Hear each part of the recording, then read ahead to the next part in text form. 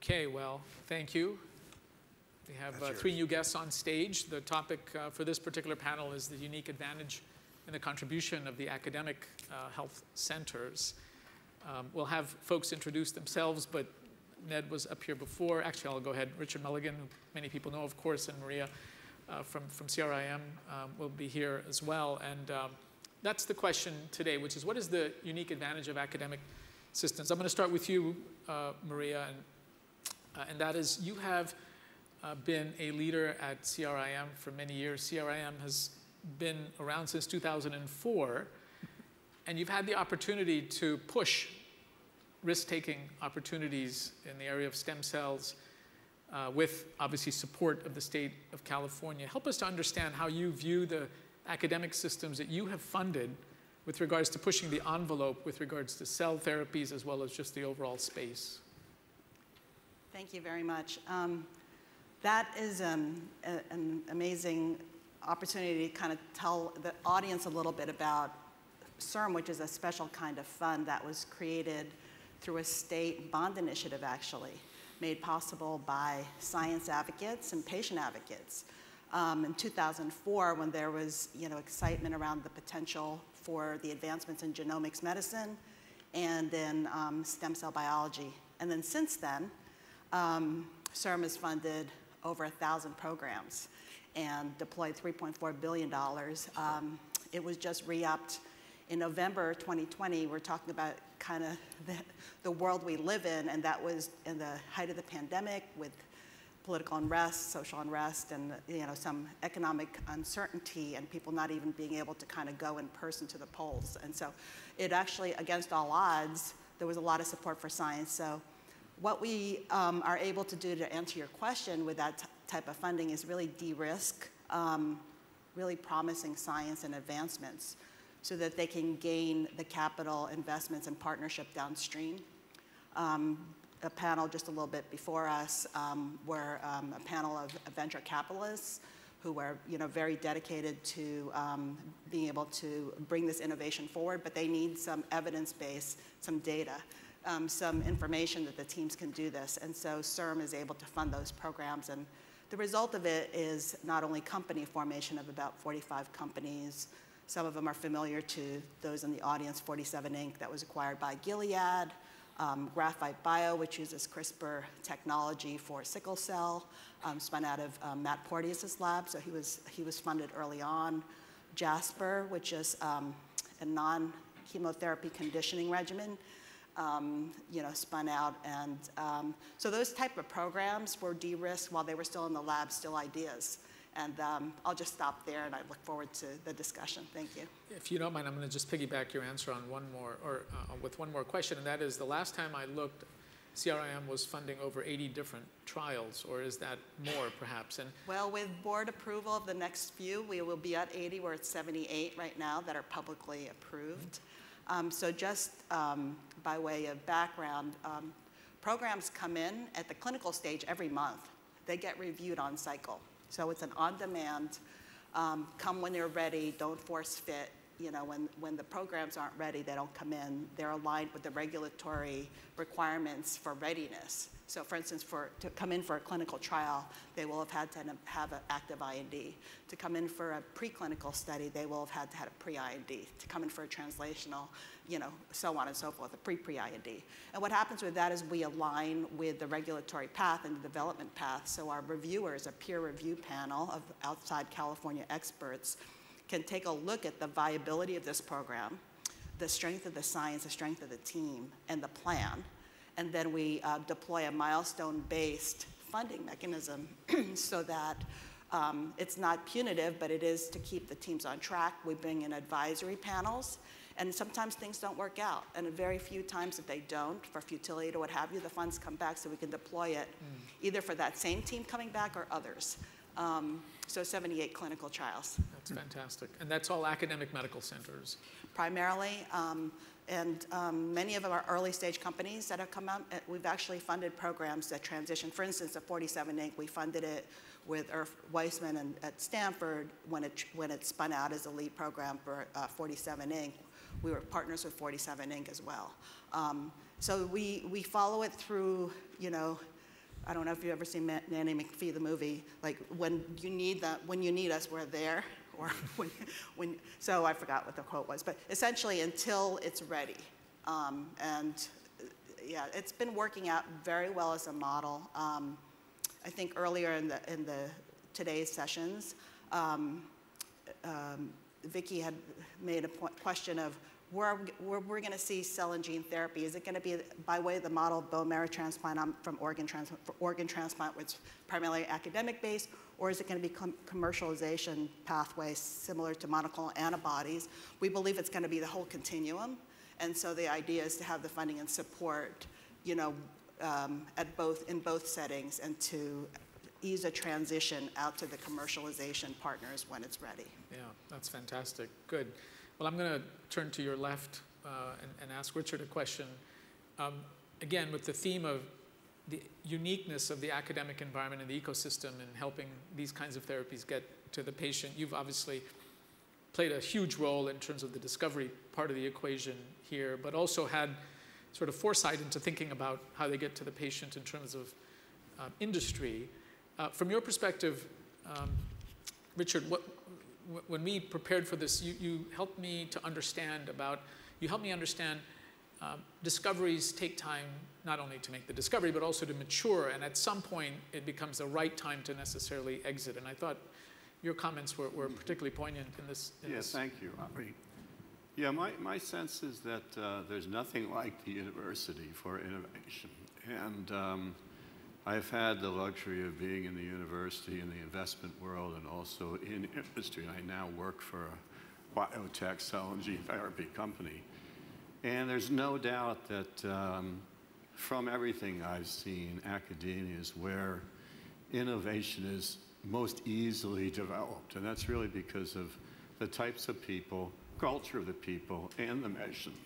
And so many of these new technologies that we now know as being important uh, began as really people trying to understand some very basic questions and being uh, free to go in various directions that would be very difficult to do in other environments, particularly in a, a company. And my reflection on the transition to industry is very much from the point of the maybe the university professor uh, who develops something very very important and then has to or really not, not often does but should be thinking about what do I really want and what does the institution want and you know some people want to get rich but most people want to see the technology they develop become something and become something in the very most efficient way that's possible. And I know I was like that when I was at MIT, and I very much wish to see our early retrovirus vectors become something. I remember going to my mentor, David Baltimore, and saying, you know, should I start a company? And he goes, oh, no, don't do that. These guys can take forever to do this. Just keep doing what you're doing, and, and someone else will, you know, work it out. And uh, I waited a number of years, and that didn't happen. and then uh, uh, began getting involved with companies, and for me, it very much was I had the impression that if I really want to see technology coming out of the university get to patients most effectively, you have to ally with a company. Uh, at that time, because I'm an old dinosaur, there wasn't a lot of interest in gene and cell therapy. This was in the 1990s. And so we developed here Harvard the Harvard Gene Therapy Initiative. And we were doing, making GMP, this and that, AAV, tumor vaccines. And that didn't seem to go so fast either. And anyways, years, years later, uh, my reflection is that um, there really needs to be quite a lot of thinking on behalf, of the on behalf of the institution and the individual about just exactly what they want to see happen. And because there's so much current interest in this technology by the investment community, you have to be very careful to understand what the investment community is. I know we just had a session on that, and you saw some of the very best people in the industry. Uh, my reflection is that even when you take the route of transferring technology to industry, it's not as simple as it might seem, and it may often not be as rapid as, as one might anticipate. And that was a real surprise for me. And so I guess, Ravi, my, my kind of message is that things are moving so very quickly that even the academic gene therapy initiatives are not what they used to be. They're changing very quickly. The investment community is changing very rapidly. There's so much interest in this uh, area that every, like every little cute but great little thing becomes a company. And that's because it's possible, because there's so much investor interest. The difficulty I see for everyone is that um, we are in an era where things are moving so quickly that we don't know how many tools in the toolbox will make a therapy successful. And what we're seeing happening that I don't think so great is there's becoming a fragmentation of the industry or of science, such that you may need a little bit off this shelf, a little bit off this shelf, but there's now companies that hold just this tool and that tool and this tool. And so what I think we need to think about is really what are the new paradigms for interacting between academia and industry? So just to summarize, innovation still best occurs in the university. People can innovate very effectively in industry. In, in my little company, Sana, Sana Biotechnology, I'm actually in charge of overseeing what we call Sana X, which is try, trying to develop the culture within industry to do these kinds of things. And then most importantly, to really think about the pathway from the particular technology that the university or the professor embraces, how to get that to the patients most effectively. And you've heard CIRM does a great job of what they do. Some of these different gene therapy centers do a great job. But I think it's going to change so quickly that uh, we really need to think of how to do it. And with regard to licensing things to the er, from the university to a company, one of the things that I've heard many of my professor colleagues comment is that, oh my God, you know, they start a company and then you, you got to hire people and you got to find lab space and you got to raise money. It doesn't seem like it works all that well. And one thing that my company is working on, I'm sure many others are as well, is whether there's other ways to move things quicker. Are there hybrid kinds of systems where basically one idea is, for instance, can you have optionality for the licensing where you have someone doesn't know whether they want to start a company and get rich quick, see the thing develop most rapidly, and there may be opportunities to do both of those things, to ally with an existing company that has already built the infrastructure, but to have the ability to develop that and move it off. So I've said too much, Ravi, but I think that's no, that's great. That's you know that's the way I think about it. I'm going to come back to you because there was a question on on creating a culture of innovation, but I want to take what you just said and, and go to Ned here. Ned, you've uh, in your role as the director of the NCI, former role, I should say, since 2017, five years, you funded more than a couple R01s, as you, as you alluded to. Um, you obviously have had faith in the academic environment and having the ability to transform science, direct science, um, and essentially change people's lives has just been spectacular in, in, you know, during your tenure. Um, have you been, and maybe this is not a fair question, but since you're a former director, I can ask this question. Um, have you been satisfied with the pace of creativity, innovation, and acceleration to the clinic based on what the NCI does and its mission to academic centers? Yeah, no, I, I fervently believe the investment in you know, academic basic science is a very laudable thing for the uh, National Institutes of Health and the NCI specifically to do. Uh, you know, I made that argument to Congress on a regular basis. I would go and say, you know, Congress generally likes specific trials. They want a specific trial in childhood cancer, or pancreatic cancer, or brain cancer. And I would say, well, we, we do that at the NCI, and those are laudable and important activities, but really, if you want to change the world, that often happens in the so-called RPG pool, the funds of monies we use to support academic institutions where you know uh, uh, investigators apply with their own ideas. So investigator-initiated research, and you know I, I, collected a group of examples. That's where PROTACs came from. That was an R01 to uh, you know Craig Crews out of the IMAT program at NCI. That's where Jim Allison discovered CTLA4, right? That was an R01 out of the NCI, and on and on and on and on and on. So these transformative technologies that really make a difference for patients are often funded to academic investigators, sometimes an assistant professor that nobody's ever heard of, you know, with this great idea. And so that's a very, very valuable thing for the National Cancer Institute to do. And I think that's what the NCI and the NIH do really well. You know, there are other activities that are much harder for the NIH to do for a variety of reasons. Often the more kind of, for want of a better term, you know, kind of industry-like the activity becomes, the more difficult it becomes for a variety of reasons. And so I, I think that, you know, the NIH really should focus uh, its efforts on funding that kind of science. That's not to say that, you know, clinical trials and other things the NCI don't do, does are, are, important as well. They are.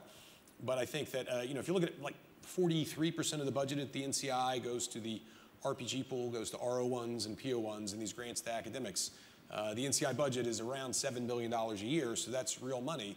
Uh, we, there's also some money that goes to the SBIR program. 3% of the extramural uh, uh, funding goes to, you know, it's a couple hundred million dollars a year to start companies, and almost always those are academic spinouts, and you know, talks about the kind of activities that, that Richard mentioned. So I, I think the, you know, the NCI does support that as well, but I think really the bread and butter of the NIH and the NCI is to support uh, academic investigation, which is where these uh, you know, real paradigm-changing discoveries will come from.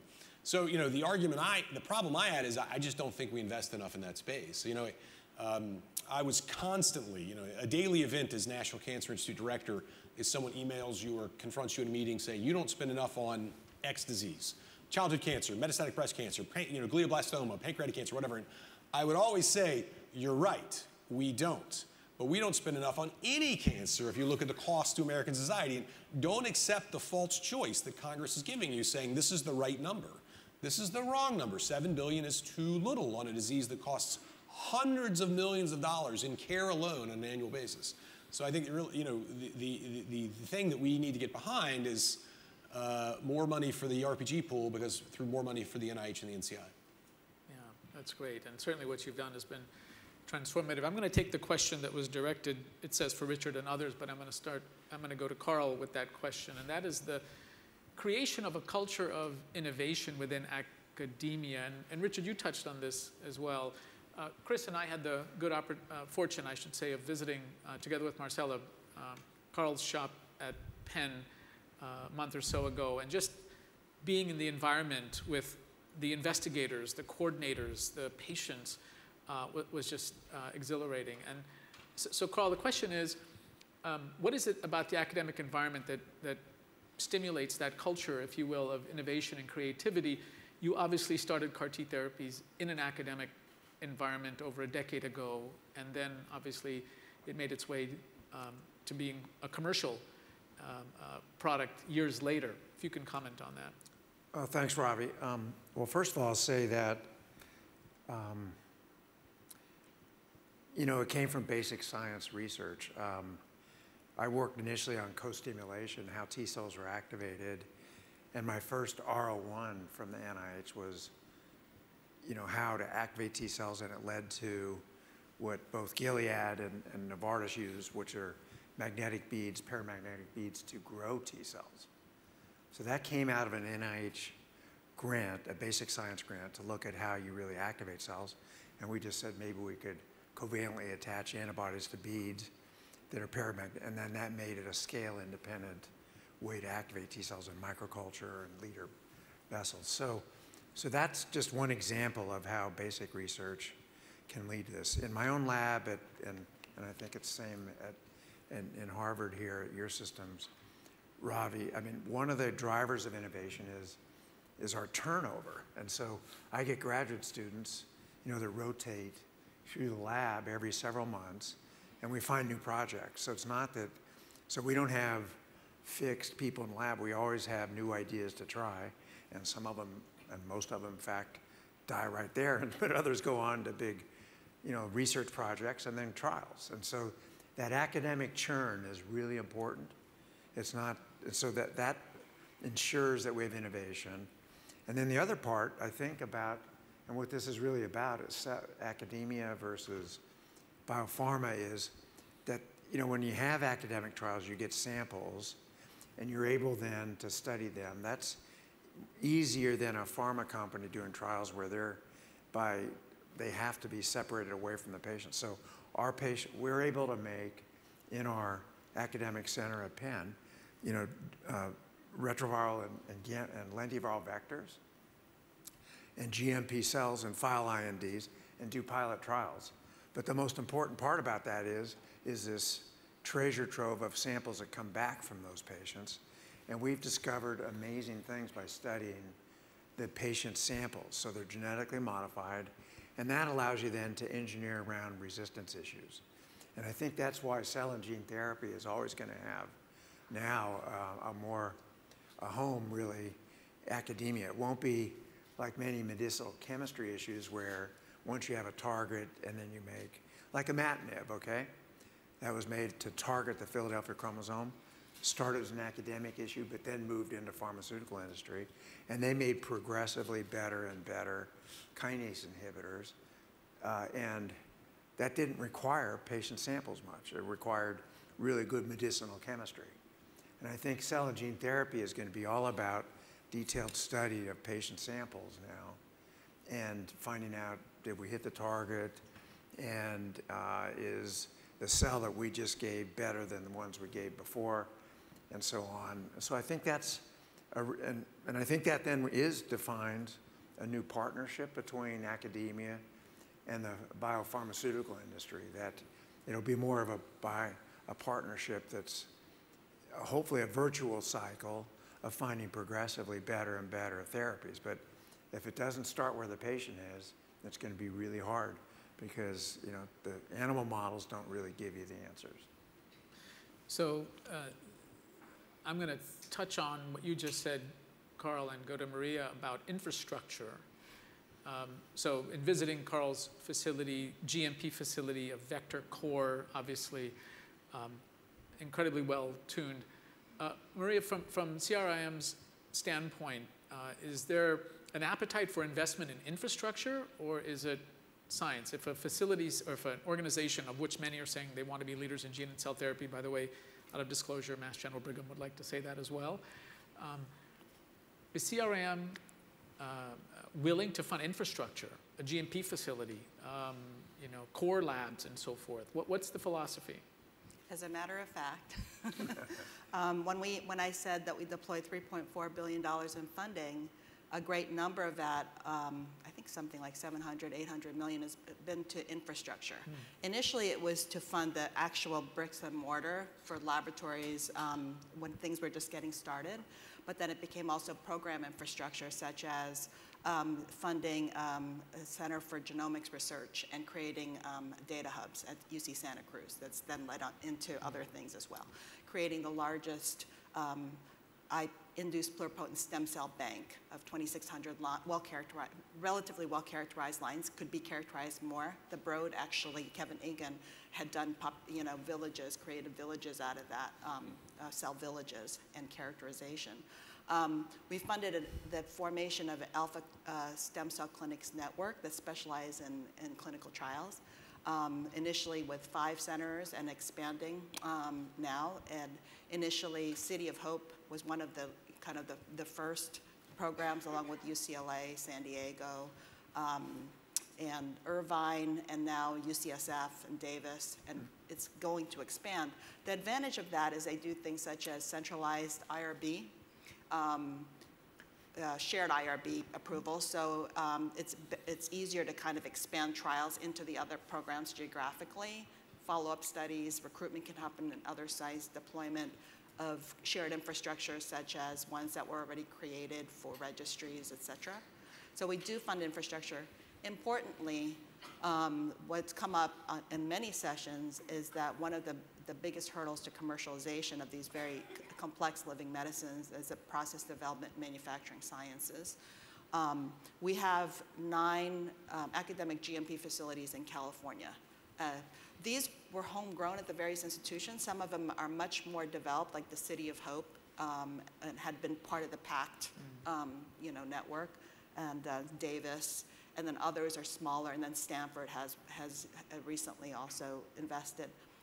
Um, CIRM, in, a, in, its new strategic plan, is uh, planning to invest in a way to create the, you know, to kind of aggregate the academic efforts to, to um, make it more amenable to partnership with industry because there's also been at the same time an incredible infusion of capital into uh, company formation in, in manufacturing in California specifically, but in general. Resilience is one, um, Synthego, um, Novo Nordisk and Bayer. All of these um, companies have invested recently into manufacturing and are actually industry alliance program partners with CIRM.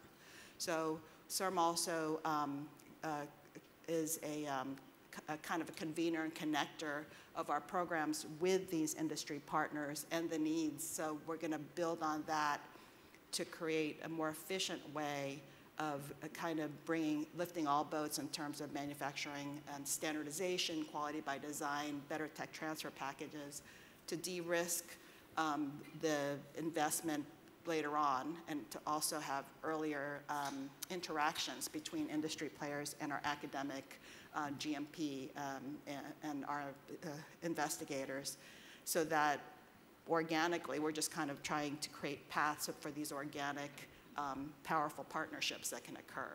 And so there's a lot of interest in it from both from the industry partnership side and from the academic side. Mm. And just like with everything else, how you can motivate those to take the extra step in doing things such as data sharing and you know, sharing of protocols is through funding. So that is, that is something that we're deliberately creating um, as a concept for a, a funding um, program um, coming up soon. Great.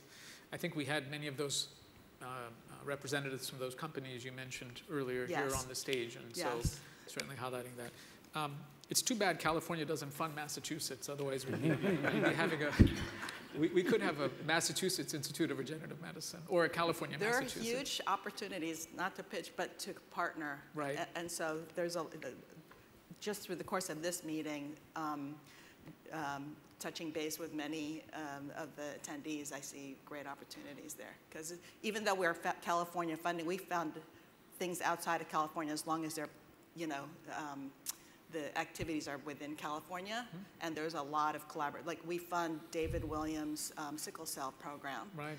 In partnership with the NHLBI, we have a, a unique co-funding partnership with the NHLBI, where um, we identify cell gene therapy sickle cell programs. So Matt Porteus was one of them, Mark Walters with the CRISPR, and um, David Williams using lentiviral BCL11A, um, um, as well as other kind of programs like Judy Shizuru's conditioning regimen. And we, the uh, NHLBI relies on our um, application and our GWGR review process, and they use a process that they can turn around this decision, get this within 10 days, and let us know if they'll co-fund it. Um, so it's been a really great partnership um, in a lot of ways. Yeah, that's terrific. Good. So I'm going to turn to Ned, and then we'll go to, to Richard uh, after that. So Ned, infrastructure and NCI's support of that. Chris and I, as you remember, had a call with you months ago as we are thinking about a gene and cell therapy here at Mass General Brigham and asking the question, should we build infrastructure, a GMP facility and so forth, given the, the leading um, uh, industry partners that actually do this quite well. But again, there are many examples, as we just heard, both from Carl and Maria, of, of, of that need perhaps within an academic medical center. What's the NCI's view on funding infrastructure? yeah. I, or what was the NCI? What, what, did I tell you, by the way? I, I presume I said yes. well, uh, gonna, I'm going to test you based on what your answer is. no, I, I think um, this is a good fit for academia. I mean, these are, these are hard trials to do for a variety of reasons, and so there's still some science that needs to occur. And so I, I think this is a, a good space for academic institutions to invest to create the uh, capabilities to do clinical trials in their own institution. Uh, and so, as I mentioned earlier in the prior session, you know, the NCI is supporting a national multi-site network for CAR T trials in solid tumors, uh, for example. And that, that, to do that required actually years of funding supplements and individual grants to institutions and you know, a lot of back and forth and learning what the problems are. And I, I think it, it, it is uh, an area where th this can be very successful. I, I don't think anybody's going to get an approved product off a single institution study. So I think the ability to do multi-institution trials is really important if you want to really move the needle for patients. But you know, in that process, we did learn that this is there are a lot of really weedy challenges. For example, um, you know, there's a regulatory filing. All these things require INDs. You know, Carl was speaking about this before, that they're not, you know, they're regulated in, in a sort of in-between way. And, uh, you know, academic institutions aren't in the business of filing a lot of INDs. This is new for some of them. So, and it's much more expensive than they imagined. And so, you know, someone's got to support that. Uh, there are lot release and testing issues that are, that are often new to them. They're, you know, many of these institutions have GMP facilities, but in some other completely different space. And so, you know, the manufacture of cellular products is new. Uh, so, you know, the National Cancer Institute is trying to support those activities but often, you know, these things are quite expensive, and so it's, you know, as I see individual institutions, there's a combination of philanthropy and state money and federal, usually NCI money or other, uh, you know, and then maybe some foundation money and maybe some tech transfer. And, uh, you know, creating that uh, winning infrastructure is, is, is still quite a challenge. Uh, but I do think it is a place where the NIH and the NCI is investing now and will continue to inve- invest because it is a good fit for academia at the present moment. So I appreciate that answer. I, I'm going to end with a, well, we still have a few more minutes. Um, uh, and this question is for Richard. Uh, and then I'm going to go t- uh, back to Carl here. But Richard, the question is as follows. This is from the audience, so you can't blame me for this. Uh, so Richard is an oracle. When Richard, when Richard was at BCH, at each seminar, he warned about the pitfalls of gene therapy, and many predictions bore out. Would he grace us by commenting on gene therapy development since the 1990s, and what should we be wary about moving forward? Oh, boy. Remember, I didn't ask the question. Well, first I'll tell you an anecdote um, about that vintage. Um, the very first gene therapy um, was won by French Anderson and uh, Steve Rosenberg, and I was on the rack at the time. And that's probably what the question refers to, because I was very critical. And, and the anecdote is very funny, and I, I still use it sometimes, is that uh, Dr. Anderson got up and was talking about all the monkey studies he was doing, and he had eight years of, eight monkey years of safety experiments for this, I think it was an ADA experiment. And I raised my hand, I said, French, you know, you've just proved something really important. If no gene transfer occurs, gene therapy is perfectly safe. and, uh, and, and the point that I think I was often involved in then is, hey, you can't be perfect, and you're in your MIT ivory tower, and you're never going to see this happen unless you take some risk. And I think I certainly learned that over the years. Um, I think now probably the, the, the greatest issue that does face us is the maybe lack of appreciation that technology and knowledge is moving so very, very rapidly that time after time we're going to see that there's better ways to do things. There's better ways to test things. A very good example I know Carl knows a lot about is, you know, integration site um, effects with lentivirus vectors. You know, I can remember years ago how primitive that was. And then one of your colleagues, uh, Carl, uh, Rick Bushman, really, I think, revolutionized the field and he's done so much to even understand uh, some of the genes that can affect T cell amplification and so forth. And so I just think that we need to give laws, particularly because industry is so focused on this, the industry likes to get things done and do things very efficiently, that we always have to be thinking about um, what we will learn biologically that'll fundamentally change our point of view. Certainly in the, the iPSC ES cell field, the whole issue of genetic variation is becoming more and more interesting. We understand so very little.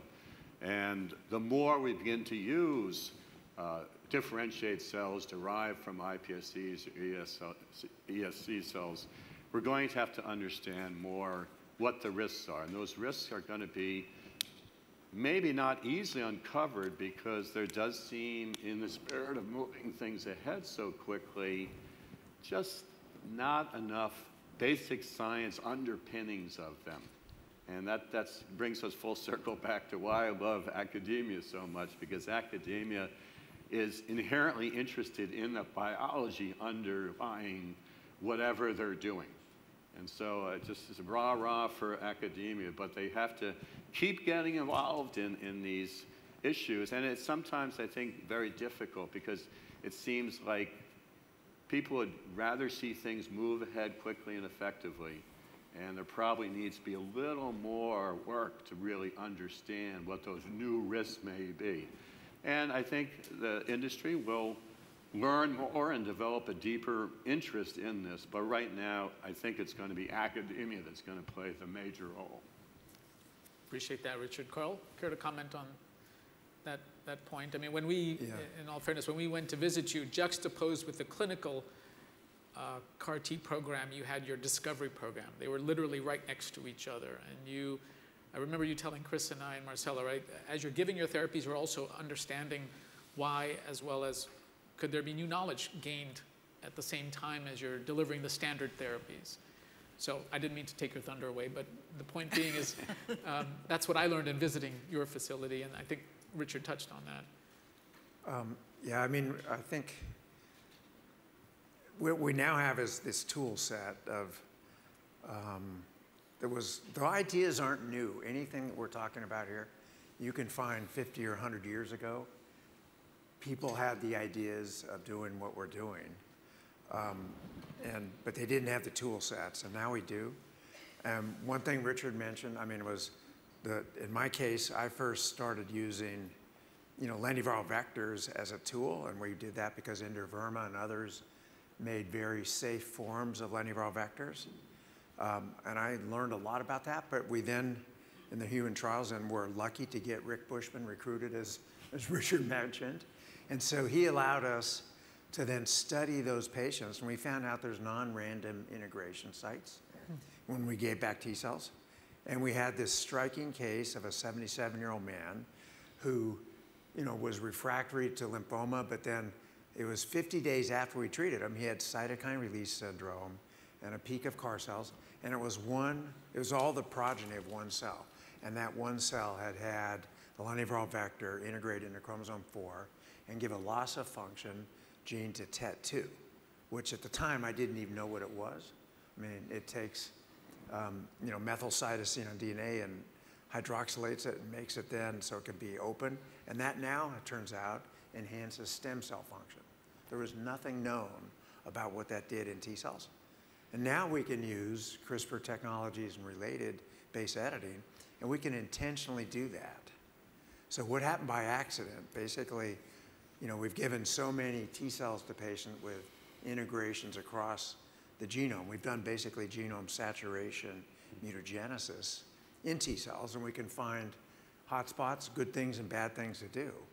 So that is an example of, you know, if you have samples and then you study them, you can learn, you know, how to enhance what you do. And I'm really, you know, excited about the technologies now which allow at a level of detail never I mean, the precision of what we can do now is, is just incredible. So uh, I think, you know, both the potency and the safety is going to get better and better with these, you know, cell therapies. I appreciate that, Carl. So the session was entitled Academics uh, Unique Advantage, and I think you certainly heard from the four um, uh, distinguished panelists on the importance of discovery, the importance of biology, as you just heard, perseverance and patience. You heard that, that in the academic environment, we can make an investment in the infrastructure to allow therapies to move forward. But we also heard the importance of partnerships, and I think everyone talked about the partnerships, whether it was CIRM or, or the NIH, and, and obviously the perspective from Richard and Carl as well. So there is a huge opportunity, and given how things are moving as fast as you mentioned, Richard, as well as how complex they are, we can't not but help think about important partnerships between academic and industry early on, uh, even though within the four walls of academia, otherwise they traditionally have been sacred. That may not be the case necessarily moving forward because I think those partnerships will uncover those opportunities that, that these four panelists mentioned.